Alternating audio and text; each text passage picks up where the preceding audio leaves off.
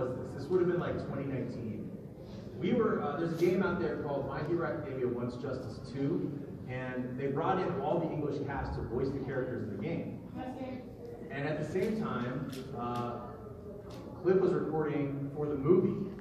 So he was basically going back and forth between studios, just doing Bakugo nonstop. I, ran into him one day in, in studio, and I was like, "Dude, what's up?" He was like, um, "Not good."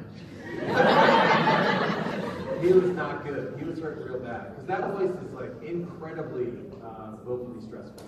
So I'm not going to do Bakugo, but uh, I will. I will do a, a one Miles Edgeworth objection for you if you would like that.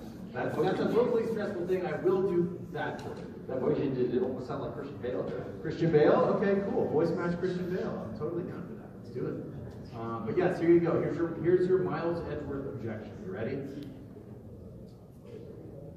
Objection!